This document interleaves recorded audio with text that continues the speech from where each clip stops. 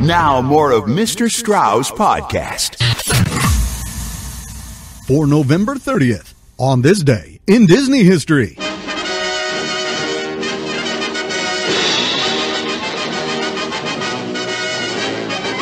On this day in 1835, writer and humorist Mark Twain is born Samuel Langhorne Clemens in the small town of Florida, Missouri.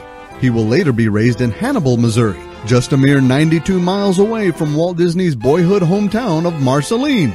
Walt Disney admired Twain's writing, and so the famous author's name and image can be found scattered throughout Disney theme parks all over the world. Tom Sawyer Island, based on Twain's classic The Adventures of Tom Sawyer, is the only Disneyland attraction that Walt personally designed.